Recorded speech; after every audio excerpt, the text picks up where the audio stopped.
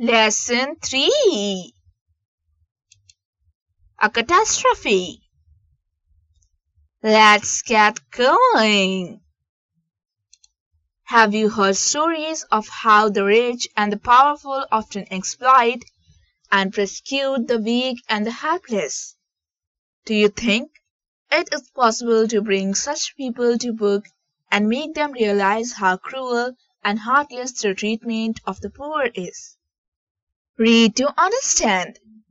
Read the story of a poor, defenseless woman who was tormented and driven to her death by an arrogant tyrant who was totally insensitive to her piteous cries.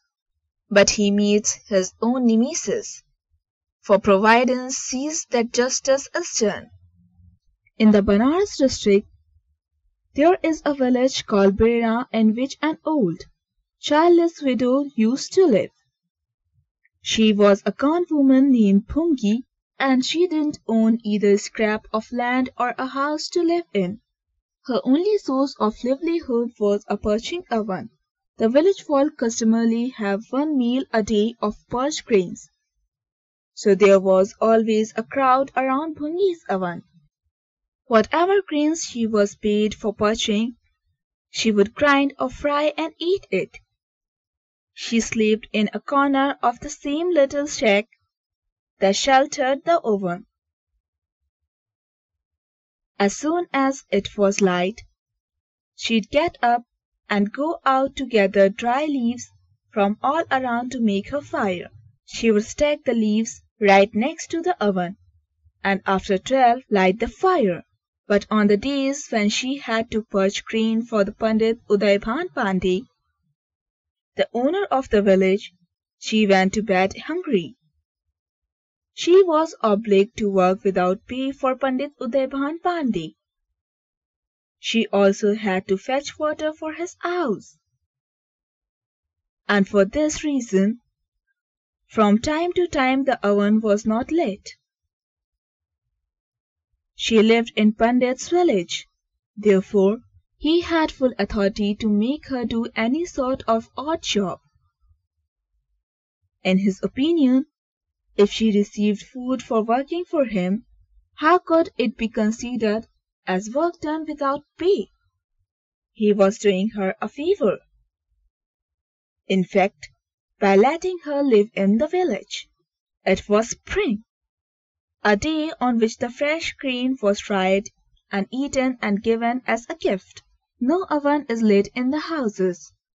Bhungi's oven was being put to good use today. There was a crowd worthy of a village fair around her. She had scarcely had an opportunity to draw breath because of the customers' impatience. Squabbles kept breaking out.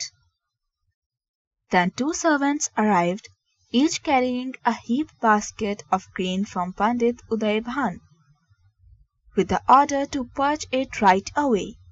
When Bhungi saw the two baskets, she was alarmed. It was already past twelve, and even by sunset she would not have time to parch so much grain. Now she would have to stay at the oven parching until after dark for no payment. In despair, she took the two baskets.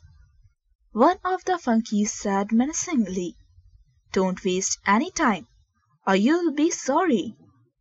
With this command the servants went away, and Bhungi began to parch the grain. It's no laughing matter to parch a whole mound of grain. She had to keep stopping from the parching in order to keep the oven fire going. So by sundown not even half the work was done. She was afraid that Panditji's man would be coming. She began to move her hands all the more frantically. Soon the servants returned and said, "Well, is the crane parched?"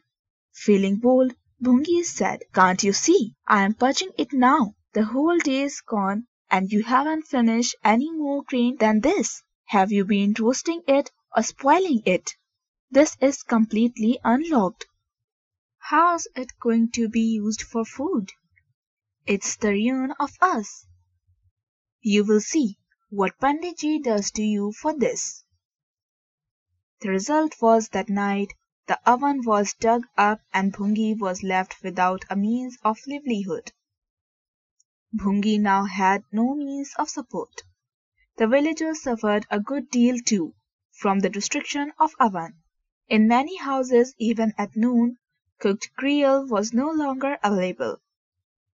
People went to Panditji and asked him to give the order for the old woman's oven to be rebuilt and the fire once more lighted, but he paid no attention to them. He could not suffer a loss of face. A few people who wished her well urged her to move to another village, but her heart would not accept this suggestion. She had spent fifty miserable years of her life in this village, and she loved every leaf of every tree. Here she had known the sorrows and pleasures of life. She could not give it up now, in her last days. The very idea of moving distressed her. Sorrow in this village was preferable to happiness in another. A month went by. Very early one morning Pandit Uday Bhan, taking his little band of servants with him, went out to collect his rents.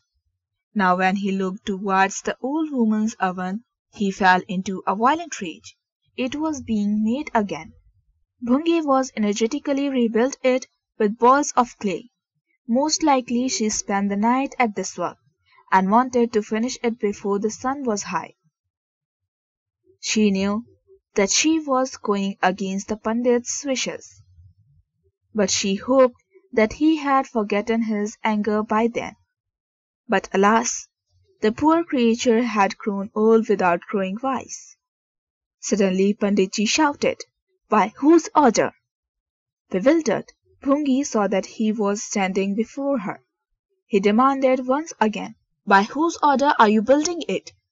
In a fit of fright she said, "Everybody said I should build it, and so I am building it. I'll have it smashed again." With this he kicked the oven. The wet clay collapsed in a heap. He kicked at the throw again, but she ran in front of it and took the kick in her side. Rubbing her ribs, she said, "Maharaj, you are not afraid of anybody, but you ought to fear God. What good does it do to you ruin me like this? Do you think gold is going to go throughout of this small piece of land? For your own good, I am telling you, don't torment poor people. Don't be the death of me. You are not going to build any oven here again. If I don't, how am I am going to able to eat? I am not responsible for your belly. But if I do nothing except chores for you, where will I go for food? If you are going to stay in the village, you'll have to do my chores. I'll do them when I've built my oven. I can't do your work just for the sake of staying in the village. Then don't. Just get out of the village. How can I? I've grown old in this hut. My in-laws and their grandparents lived in the same hut.